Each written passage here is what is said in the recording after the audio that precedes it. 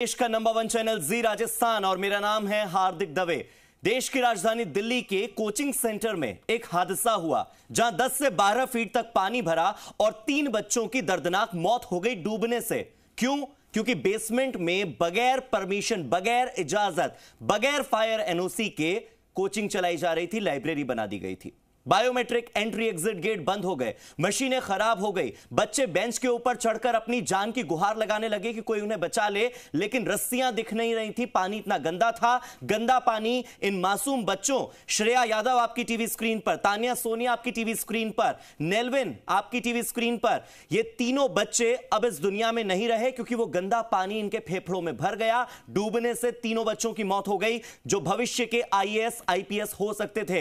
In coaching centres ने हादसों से क्या सबक लिया? बड़ा सवाल यह कि जो कोचिंग संस्थान आपसे आपके संघर्ष की, आपकी गाढ़ी कमाई ले लेते हैं और आपके बच्चों की ज़िंदगी संवारने की ज़िम्मेदारी अपने कंधों पर उठाते हैं। कहीं वो मौत का सौदा तो नहीं कर रहे, कहीं वो ज़िंदगी बनाने की बजाय जिंदगियाँ उजाड़ तो नहीं रहे, कहीं वो आपका पैसा ही लेकर आपके ही बच्चों को मौत तो नहीं बांट रहे, कहीं वो आईएएस आईपीएस बनाने का लालच देकर डिस्काउंट के नाम पर आपसे कैश लेकर आपके ही बच्चों को खत्म तो नहीं कर रहे। क्या तैयारियाँ हो रही हैं कोचिंग सेंटर्स में? यह दिल्ली की बात नहीं है यह कोटा की भी बात है, क्योंकि कोटा भी कोचिंग हब है। छोटे छोटे बच्चे पढ़ने के लिए आते हैं और हर दिन कोई ना कोई बच्चा फांसी के फंदे पर लटक जाता है। बार बार कहा जाता है कि क्या हॉस्टल में एंटी हैंगिंग सिस्टम है? नहीं है। क्या कोचिंग में फायर एनओसी है? नहीं है। क्या कोचिंग में तैयारियाँ होती है बच्चों की सुरक्षा की? नहीं होती। क्या वहाँ पर फ़र्स्ट एड होता है? नहीं होता है। बहुत सी ऐसी चीज़ें हैं जो बार बार सवाल खड़े करती हैं कि क्या कोचिंग सेंटर्स तैयार हैं? बच्चों की सुरक्षा के लिए, अग्नि सुरक्षा हो, पानी से सुरक्षा हो, या स्वास्थ्य के लिए जो मूलभूत आवश्यकताएँ होती है, क्या कोचिंग सेंटर्स में वो सब मुहैया होती हैं या नहीं? ये एक बड़ा सवाल है। और इसी का रियलिटी चेक करने के लिए ग्राउंड ज़ीरो पर मेरे अलग अलग सहयोगी इस वक्त मेरे साथ जुड़ गए हैं और हम एक एक शहर का रुख करेंगे और एक एक शहर के उन कोचिंग सेंटर्स का रुख करेंगे, जानने का प्रयास करेंगे कि क्या तैयारियाँ हो रही हैं। जयपुर से मेरे साथ विनय पंत जुड़ गए हैं। जयपुर के एक दूसरे इलाके से मेरे साथ दिनेश तिवाड़ी जुड़ गए हैं। कोचिंग हब कोटा से राजेंद्र भारद्वाज हैं और जोधपुर से राकेश भारद्वाज हैं। सबसे पहले दिनेश, आपका रुख करते हैं। राजधानी दिल्ली में क्या हुआ? उससे राजधानी जयपुर ने क्या सबक लिया? आपके आसपास जो कोचिंग सेंटर हैं, वहाँ बच्चों से बात कीजिए।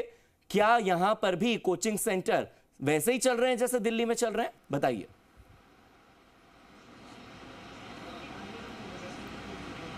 हाँ बिल्कुल हार्दिक, देखिए, राजधानी दिल्ली में जो घटना हुई कहीं ना कहीं पूरे प्रदेश को न सिर्फ़ पूरे प्रदेश को बल्कि पूरे देश को उससे सबक लेना चाहिए था। लेकिन कहीं ना कहीं ये बातें सिर्फ़ कहने सुनने तक रह जाती और सबक लेकर सुधार जैसी स्थिति कहीं नज़र नहीं आती। आ, मैं कुछ दिनों पहले लेके जाऊँगा हमारे दर्शकों को। गुजरात का एक हादसा हमने देखा था फनजोन का जहाँ पे फनजोन में हादसा हुआ और लगभग थर्टी सिक्स के पार वो आंकड़ा मौत का आंकड़ा पार हुआ। लेकिन उसके बाद भी खाना पूर्ति जैसी कार्रवाइयाँ हुई। कुछ हालात ऐसे ही नज़र आ रहे हैं। ये तस्वीरें मैं मेरे सहयोगी से कहकर एक बार दिखाऊँगा कि हम एक लाइब्रेरी में खड़े हैं। ये लाइब्रेरी बेसमेंट में जिसकी तस्वीरें हमने दिखाई पहले भी दिखाई।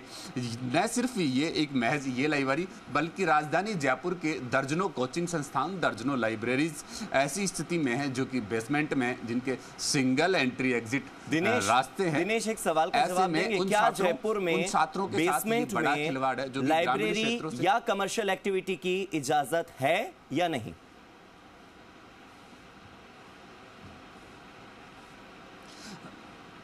इजाज़त बिल्कुल नहीं है और जहाँ है वहाँ पहले पूरी व्यवस्थाओं के साथ तमाम व्यवस्था दुरुस्त करने के बाद हम्म। परमिशन ली जाती है। लेकिन जो जिम्मेदार है चाहे वो शिक्षा विभाग हो नगर निगम हो जेडीए हो और पुलिस हो तमाम वो जिम्मेदार है। वो कहीं ना कहीं आँखें मूंदे बैठे हैं। वो पूरी तरह मौन है और उनकी इस मौन स्वीकृति का फ़ायदा ये कोचिंग संचालक लाइब्रेरी संचालक उठा रहे हैं और उन बच्चों के भविष्य पर ये कहीं ना कहीं खिलवाड़ कर रहे हैं जो कि सैकड़ों किलोमीटर दूर दराज के गाँव से अपना भविष्य अपना करियर संवारने के लिए गाँव राजधानी मुख्यालय पर आए मेरे साथ कुछ स्टूडेंट है सीधा उन्हीं से बात करते हैं। हाँ। क्या नाम है आपका?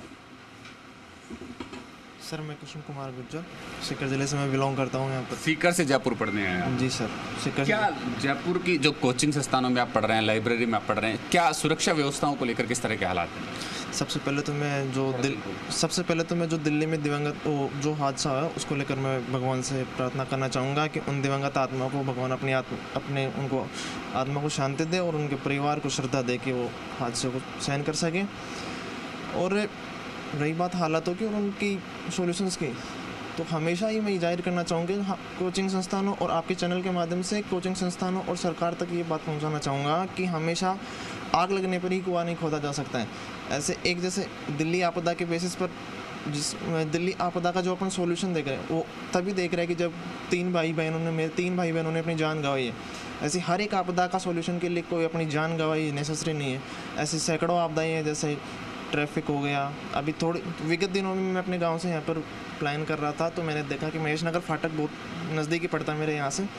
दो बाइक सवार आमने सामने से ट्रैफ़िक पुलिस के अभाव में और तेज़ रफ्तार की वजह से गंभीर तरीके से चोटे हुए बहुत गंभीर तरीके से चोटे हुए कोचिंग संस्थानों की बात कर रहे हैं हम। किस तरह के हालात आपको लगते हैं? आप तो कोचिंग हाँ कोचिंग संस्थानों की बात करूँ तो यहाँ पे अभी तक ऐसे कोई आपदा का हमने सामना किया नहीं। बाकी जिस हिसाब से दिल्ली में हुए ऐसे इन केसेस जयपुर में भी हो सकते कोई बड़ी बात नहीं है यहाँ पर भी। से मेरे सहयोगी राजेंद्र जुड़ गए हैं। सीधे राजेंद्र का मैं रुक कर लेता हूँ। राजेंद्र कोटा में इतनी सारी कोचिंग है छोटे छोटे बच्चे बारहवीं पास करने के बाद यहाँ आते हैं। बड़ा सवाल ये कि छात्र पढ़ाई करें या अपनी जान बचाएँ या फिर सड़कों पर उतरकर प्रदर्शन करने लग जाएँ प्रोटेस्ट में शामिल हो जाएँ।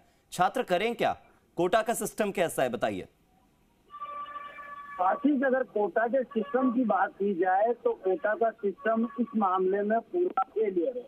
फेलियर इसलिए कहा जा सकता है क्योंकि अभी मैं जिस जगह खड़ा हुआ हूँ, वहाँ की रियलिटी जब चेक मैंने की तो कैमरा साथी पर्सन से फिर एक बार कहूँगा कि जी राजस्थान के दर्शकों को तस्वीर दिखाएँ। ये सुखधाम लाइब्रेरी है। ये सुखधाम लाइब्रेरी चौबीस घंटे यहाँ पर संचालित होती है और संचालित होने के साथ साथ ही ये जो लाइब्रेरी है वो बेसमेंट में संचालित हो रही है। बेसमेंट में संचालित हो रही है और इसमें किसी भी प्रकार के न तो कोई फायर उपकरण है न किसी प्रकार की इसमें परमिशन है। और तो और बात यह है कि जहाँ पर हम खड़े हुए हैं ये कोटा का जवाहर नगर इलाका है। हम्म। जवाहर नगर इलाका होने के साथ साथ ही यहाँ पर जब भी बारिश के हालात होते हैं तो यहाँ पर चार चार फीट पानी यहाँ पर भरा होता है। अगर आम आदमी से भी बात करना चाहेंगे तो वो भी बताएँगे कि यहाँ पर पानी के क्या हालात है। भाई साहब, जब भी यहाँ बारिश आती है तो पानी कितना बढ़ जाता है? पूरे रोड पे बढ़ जाता है। लोगों को आने जाने में भी दिक्कत होती है। तो ऐसे में, जैसे दिल्ली में हादसा हुआ, यूपीएससी का एग्ज़ाम देने वाले तीन बच्चों की मौत हो गई, पानी भर गया और वो भर गई ऐसे में कोटा को शिक्षा नगरी के नाम से दिया जाता है। ऐसे में बेसमेंट में लाइब्रेरी या कोचिंग चलना सही है क्या? वहाँ पर देखते हुए तो किस टाइप की बोली है और यहाँ किस टाइप की बोली इतना पानी तो यहाँ नहीं आता है। हाँ हाँ। बाकी रोड पर पानी तो जाता है नहीं तो बेसमेंट में जैसे एग्जिट और एंट्री दोनों एक ही जगह होती है। तो अगर कोई आग लग जाए या भीषण हादसा हो जाए तो बच्चे किस तरह से निकलेंगे? देखो देखो जी राजस्थान के पास सवाल कई है और इन सवालों का जवाब वो व्यापारी नहीं दे सकते। वो क्यों नहीं दे सकते? क्योंकि उनके पड़ोसी हैं और उनके साथ उनका जुड़ाव है।